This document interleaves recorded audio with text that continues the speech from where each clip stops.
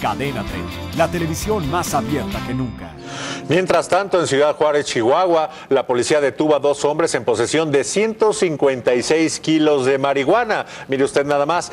Ellos fueron sorprendidos en el estacionamiento de un centro comercial cuando pasaban varios costales de una camioneta a otra. Situación que, por supuesto, llamó la atención de oficiales honestos que se preguntaron lo que debía preguntarse cualquier policía. ¿Qué hacen estos caballeros en un estacionamiento traspasándose estos costales? En el lugar, por supuesto, consideraron que esto era algo poco usual. Al revisar la carga, les fueron encontrados casi 300 envoltorios con este enervante. De inmediato fueron presentados ante el Ministerio Público Federal y posteriormente, pues, consignados como se presenta ahora mismo en las imágenes.